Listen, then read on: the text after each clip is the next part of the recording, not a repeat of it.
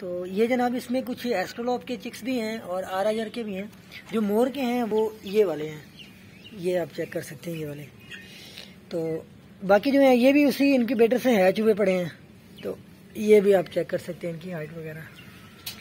तो ऑर्डर देने के लिए मैंने नंबर आपको दिया हुआ है, उस पर आप रबता कर सकते हैं। चलें जी जजाक लाओ कि हाफिज़।